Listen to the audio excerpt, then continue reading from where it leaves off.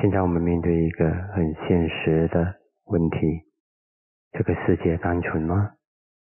这个世界不单纯。嗯，如果这个世界都很单纯，嗯，很朴实，那很多人都会活得很快乐。但是这个世界不单纯。嗯，有些时候因为因缘很复杂，种种因素。嗯嗯，有些时候很多时候不是他们要的。但是那个因缘是如此，嗯，他们的背景啊，所以有些时候我想起以前自己写过的一首词《爱的慧眼》，其中有一段我曾经这样子写：是有多少的创伤与沧桑，淹没了你那曾经纯真的心？当人们失去他们的单纯。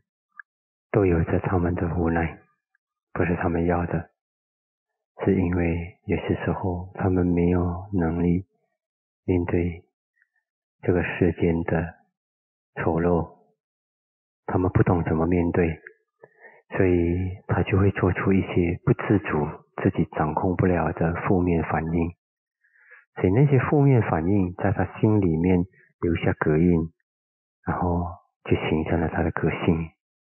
然后形成了他的苦因、苦的模式和造苦因的模式，这些都有的。嗯，那么这些是一面对这些复杂的这个时间，怎么做呢？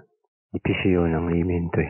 如果你没有能力面对，你只有什么东西来就在你的心里印上一个印，那我几乎可以告诉你，在这个时代，你在心里面留下来的印不会单纯。如果你任任由外面的印印在你的心里，要印什么你就印什么，那你的心永远都不会单纯。你任由它印，任由它在画，那你的心里的图画不会是单纯的。那就牵涉到生命的能力了，单纯的能力了。单纯是一种能力，是一种力量。你没有力量，你单纯不了在这个时代，不然你就是傻傻的，嗯，谁都可以把你吃掉。所以，在这方面，你要怎么做呢？如果你要回到孩子时期一无所知的单纯，那你会面对另一个问题：嗯，被宰割的时候，嗯，遇到复杂的时候，嗯，你的美好、美的单纯被欺压、被摧毁的时候，那你就会，你就不行了，嗯，然后那个心就会。转了，因为心有一种自然的，人生命有一种自然的反应，就是他要活下去。所以当他他的模式活不下去的时候呢，他一定会挤从一个地方挤压出来，他一定会从某一个方面爆发出来，一定会是自然界的现象。所以他就会失去他原来的那种纯真，所以这是一种。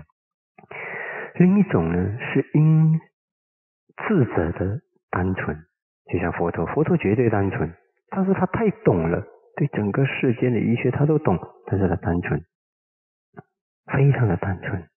如果他不单纯，你不会看到佛陀遇到任何一种处境，他他就决策就出来，答案就出来，马上的，一点都不耽误的，非常快速的。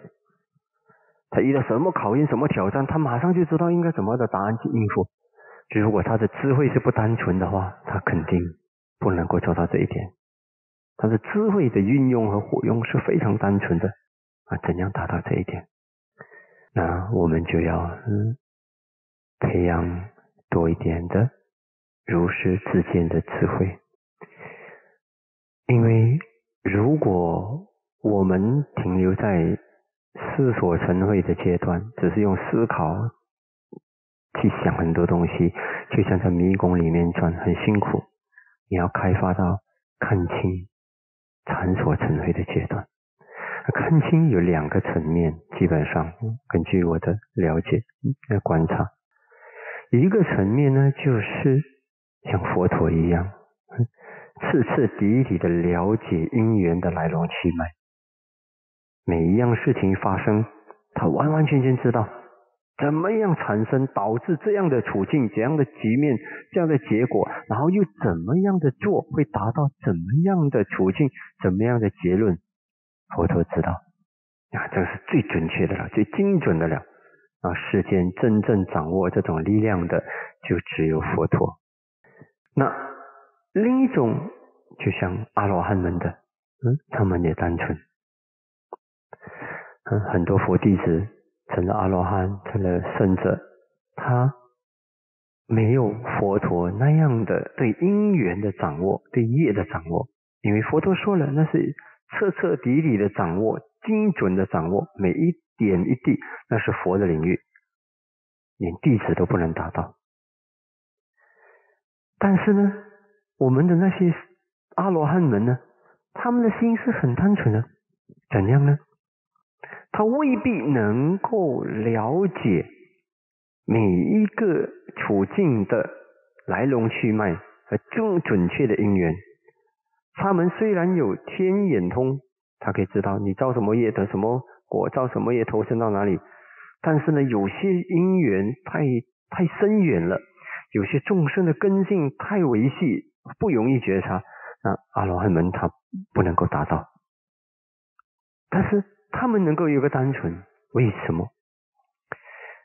当他都看清世间一切生灭因缘，都只是无常苦无。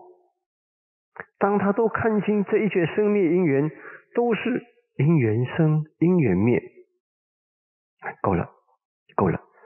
他不管了解真精准的因缘是什么，了解或不了解。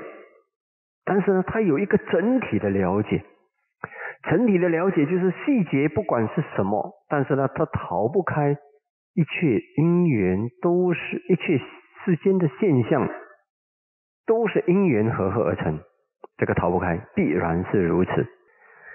而且呢，这一切因缘合合而成的，它必然也都是因缘合合而坏灭，这个是不用不用去想。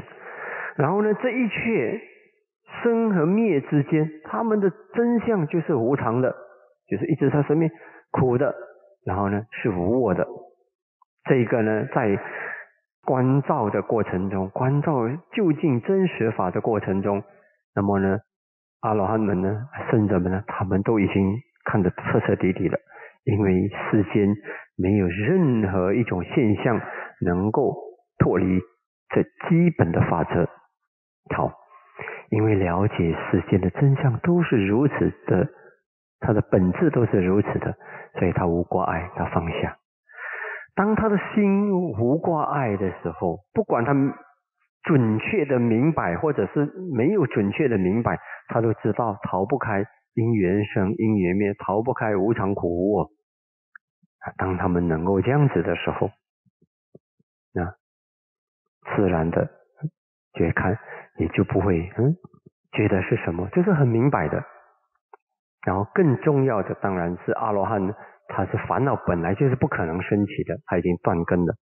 好，他是那种不只是烦恼不升起，他的那种了解也不会去，也不会去什么的。不管他们的反应之间可以有差别，但是呢，他们的心还是很单纯的。有些东西你要能够跳出来看。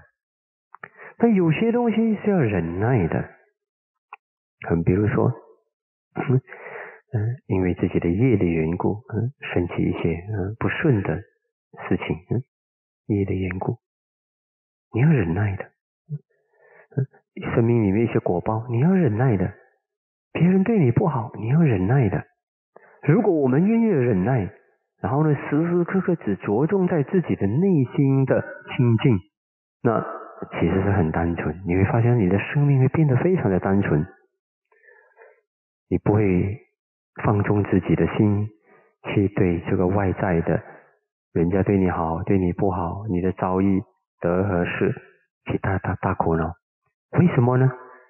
啊，如果你还没有到亲自关照缘起的阶段，但是如果能够在思想上了解啊，诸法因缘生，诸法因缘灭。都是因缘合合而成，他总有他的理由。不管我懂我不懂，但是他总有他的他的因缘，那就算了。嗯，我懂，我也要清净；我不懂，我也要清净。但是有些过失就在于，你觉得你没有拿到那个答案，你当时你就让让放纵自己起烦恼。你觉得一定要答案出来，或者是外面的格局改变了，我的心才不要有烦恼啊！这样子它就很复杂，它就变得好复杂。如果你愿意忍一忍，好，我就忍一忍，不要紧，不明白就不明白喽。哦，就是这样。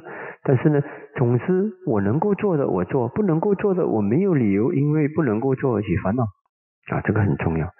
如果你能够这样子的话，那生命就会变得很单纯，你对事物的反应就会变得单纯的多。基本上就是能做和不能做而已。但是起烦恼是没有理由的，是不可以有理由的。烦恼在佛教里面是不可以有有有理由来支持它的。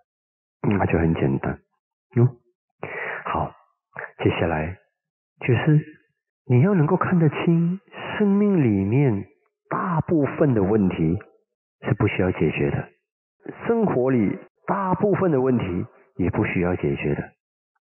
你要能够看得到这一点，那你就会单纯。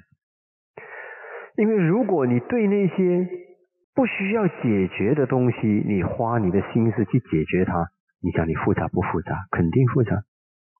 举一个例子，嗯，好，现在我骑着一一个马从这里跑向那边，那么呢，狗在吠我，鸡在啼，那你觉得你每一次都要下马去处理，你复杂不复杂？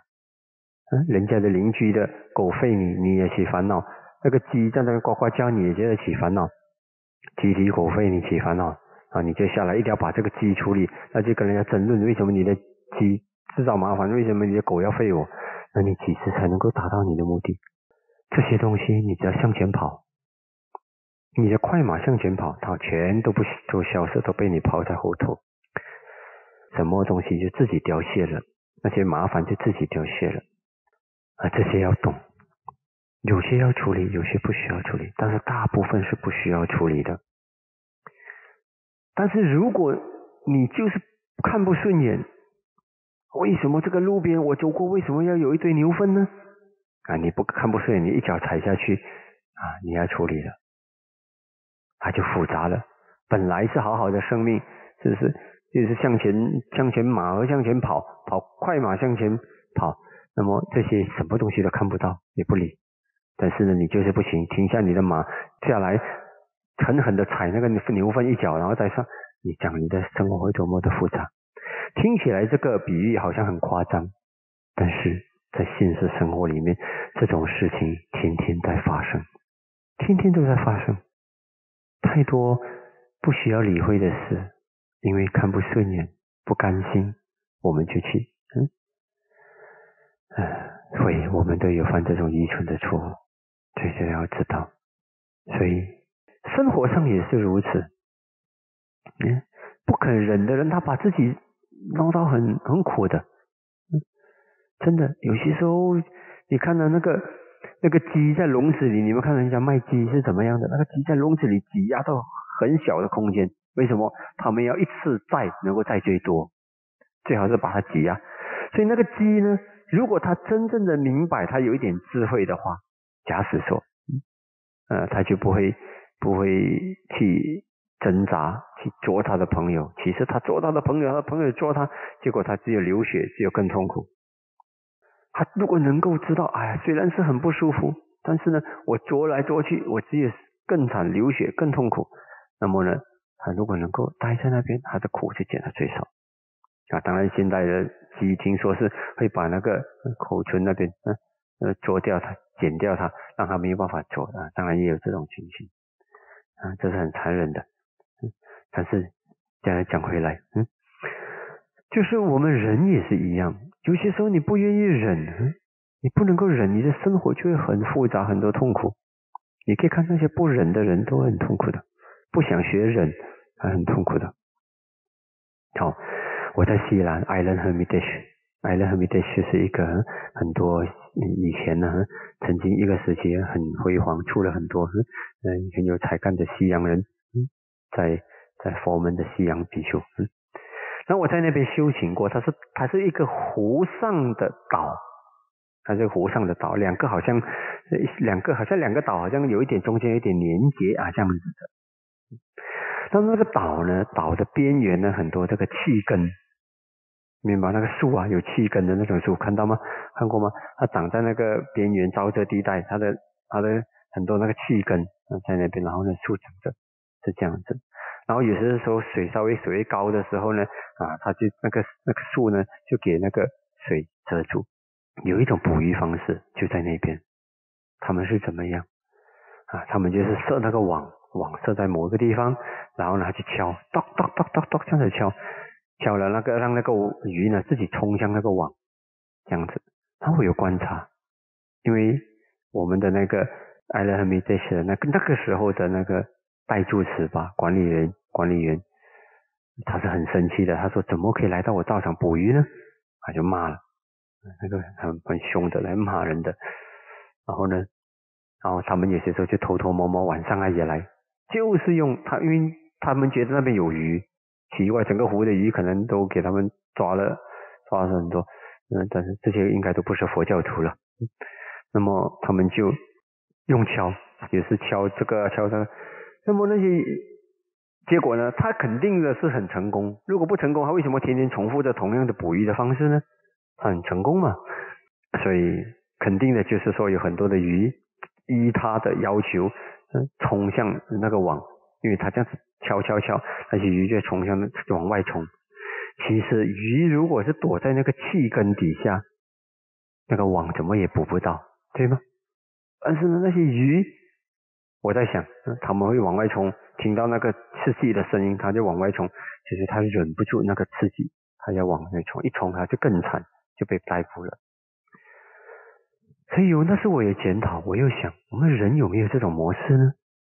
有的，有些时候不肯忍的人，就常常犯上这种错误。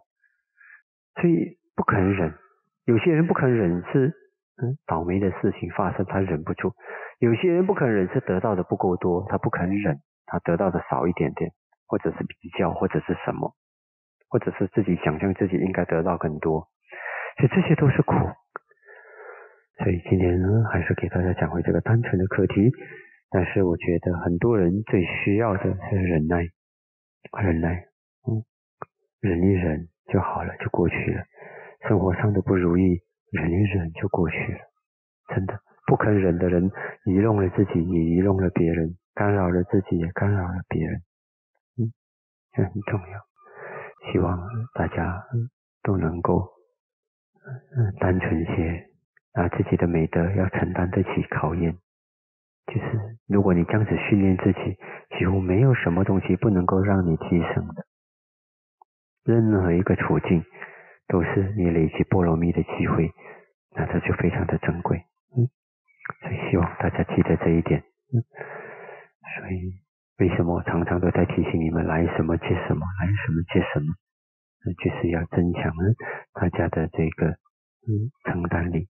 任何一种言耳必失生意的经验，你都要承担的美美的，而不用去很挣扎的想反弹，嗯，抗拒任何人抗拒生命的考验和成长的磨练，那只有让自己生命增加更多的痛苦，而且拖延那个痛苦。来什么接什么。不是说给你来毒品戒毒品，不是这个意思。来什么些什么，就是什么遭遇来到面前，我当下的心要累计，把它带到最高，就是累计最强、最优秀的善法。嗯，第一个阶段是最初是先学会不起烦恼。再者，一旦你能够嗯觉得像虚空一样，什么？东西都不让你不要去为为它起烦恼，那你就可以进一步的。在一切的遭遇里培育善法的力量，比如说不如意，那你就培养慈悲啊。自己犯了错误，就快快也对自己起慈悲心，然后也忏悔，快快的忏悔，快快的退出来，然后又再继续的前进，不是在那边懊悔自责。你知道懊悔自责都是苦因，那就不要懊悔，不要自责，但是要忏悔，嗯嗯，清楚的认清这个不要再犯了啊，这样子，嗯。所以，如果我们这样子训练自己，生命会越来越单纯，然后心单纯的心会很快乐，快乐的心很容易升起清安啊，嗯，种种的那种算法。所以希望大家继续的把生命倾向于单纯，先不要搞得这么复杂。嗯，你把这些放掉，这些垃圾都放掉。垃圾要放掉，其实并不那么难，要断根才难。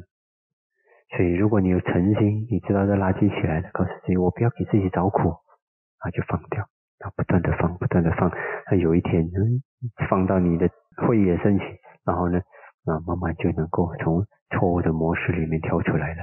嗯，好，祝福大家平安快乐，也愿大家都能够在这个法上增长，啊，能够培育戒定慧小说谈真师。